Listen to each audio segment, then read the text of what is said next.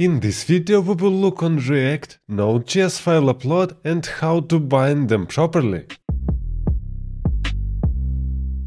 And the sponsor of this video is UploadCare. If you want to make possible files uploading on your website, you typically need to build frontend, backend, storing files on either your server or uploading them to CDN. And it's a lot of work. If you want to implement upload directly from Google Drive or Dropbox, it's even more work. UploadCare solves all these problems at once, and just in several lines of code, you can get all these things out of the box. If you want to check UploadCare, there is a link in the description box below. So really often we need to upload some files from our React application and we want to upload them to our server, which is typically built with Node, because we want to store these files on the backend. The question is how to do that efficiently. And here I already prepared for us a small project. As you can see here, I have three folders, assets, backend and frontend. As you can see inside my assets folder, I have five images that we will upload. Inside backend, I have just source and index.js with plain Express application without any logic. It is just a listen and a CORS package so we can make requests from our React project to our API. And additionally here we have a frontend application which is a React generated application and inside our app component I simply have a form with input file multiple which actually means it is possible to upload multiple files through this form. And here how it looks on the screen, we can click here choose file, select a file and then click upload and our file must be loaded. Obviously all this logic is not there and we must build it.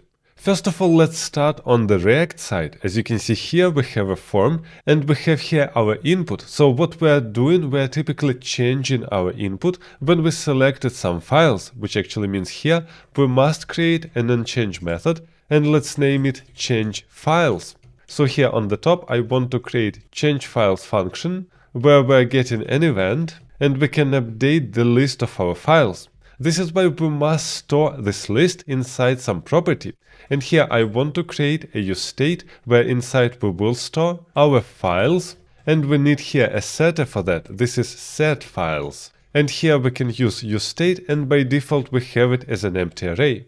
Now inside our change files, we can read an event and we can write inside our files event.target.files. And it doesn't really matter if we're uploading a single file or an array of files, we can always do both because we have an array.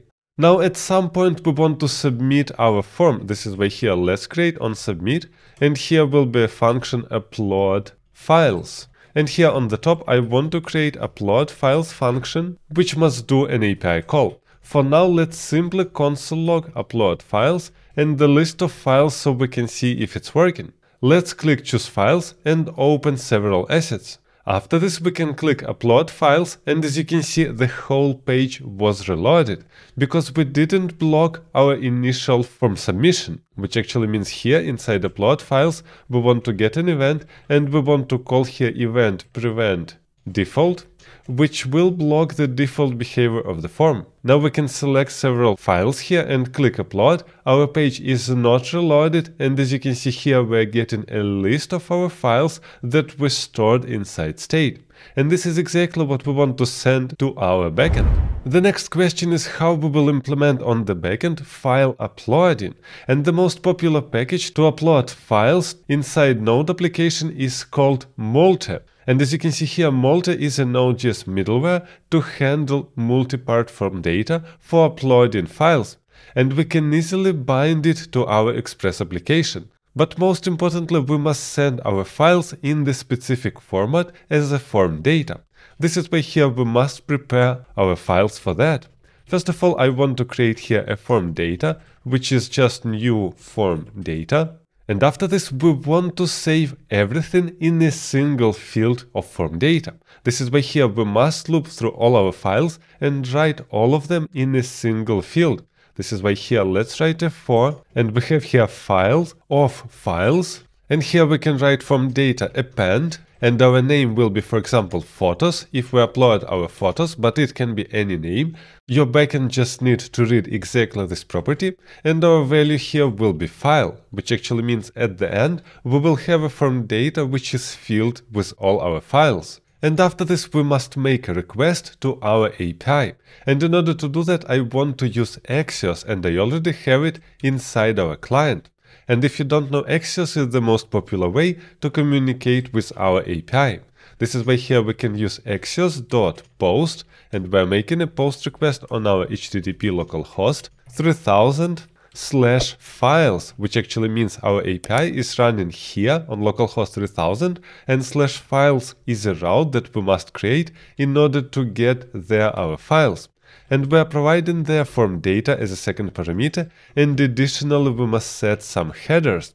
And it is important to set correct content type here because our content type must be multi-part form data. If you will omit this content type, it will never work because our backend with Multer only will read these files when this content type is set. Now here we have a then and we're getting some response and what I want to do here is simply console log our response that we will get from the backend. And here we will have response.data with all information inside our response. For now it is enough, let's check if it's working. Here I want to choose some files and I want to click upload. And obviously our promise failed because our request does not exist, but actually it was going on localhost 3000 slash files and it is a post request.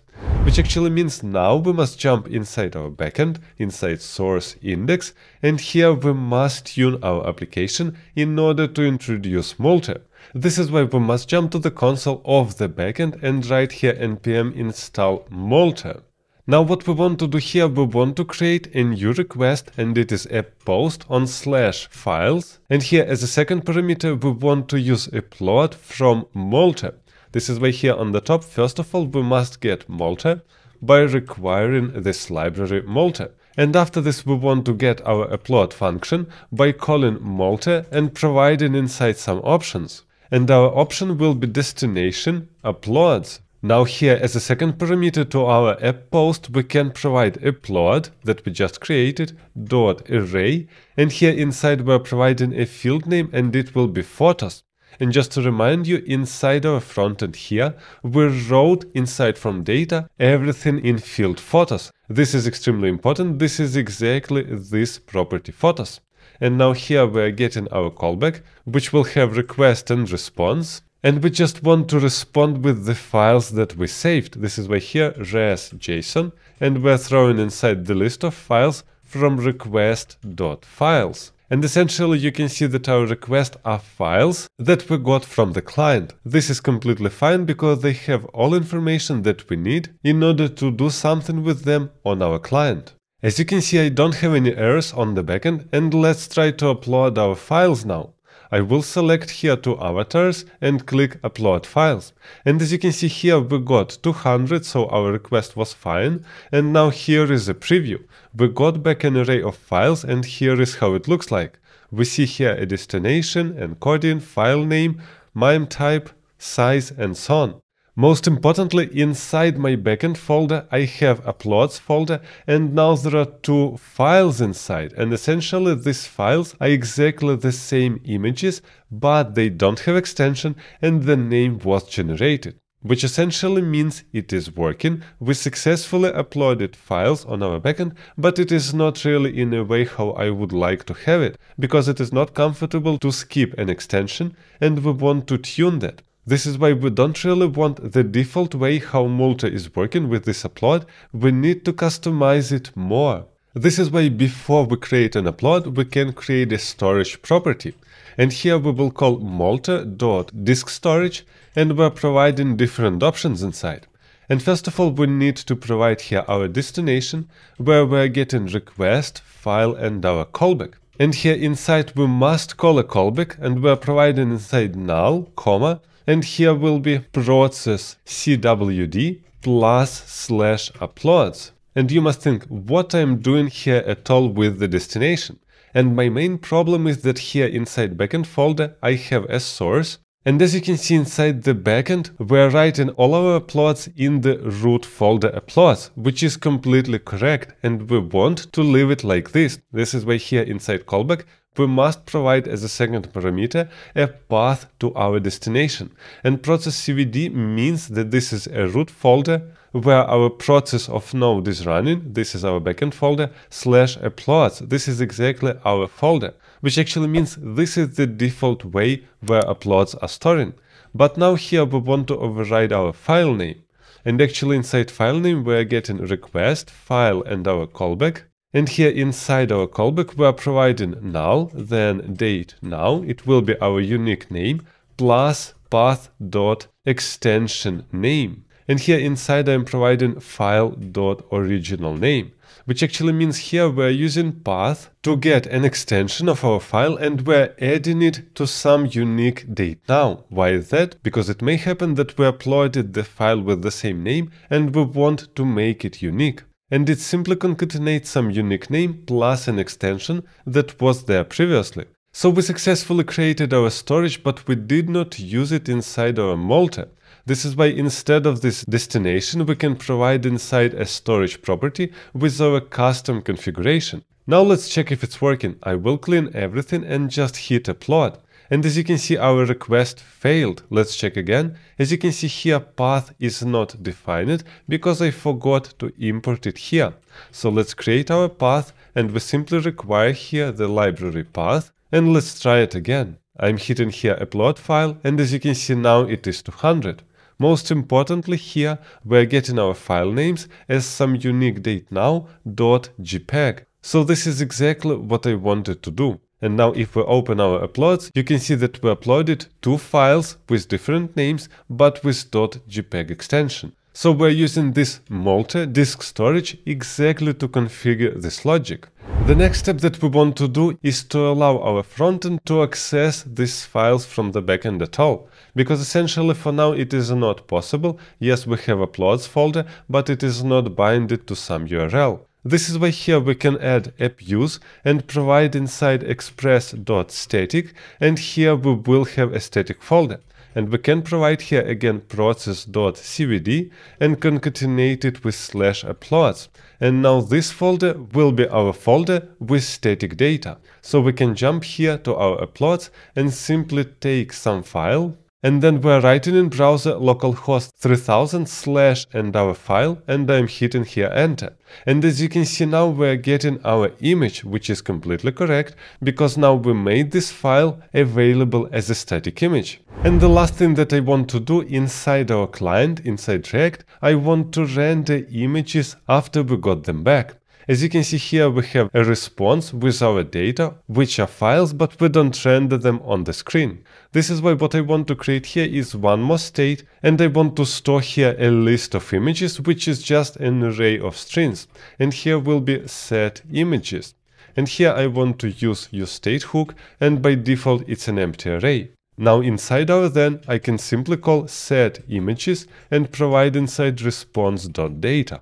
But actually this is not correct because this contains an array of objects which are files, but we just want to save our images, which are file names. This is why here let's call response data map, and we're getting access to every single file, and we simply want to read file.filename. Now we must provide these file names inside our set images. And last but not least, let's render them inside this div. So it will be just a map for our images. We're getting access to every single image and we want to render an image with our key, which will be an image, and then our source. And our source must be a string because here we want HTTP localhost 3000 slash, and here will be our unique image name with extension. Let's check if it's working. I want to open our client, let's make it smaller, and now here I want to choose two files, for example. I'm hitting here open and I click upload files. As you can see here we're getting an error response data map file is not a function, which is essentially correct because actually we saved our response inside files property. So here it should be response.data.files. Let's try again. I upload two files, I click upload files, and here they are. These are two files that we got back from the backend. And here in the network we can see that it was exactly this response. So here is this file name that we concatenated with our path to localhost 3000. So this is how you can upload files with React and Node. But you might also want to upload your application to production. And actually I made a full video how to deploy your project either on Vercel or Netlify and which one is better. This is why don't forget to check it in this video.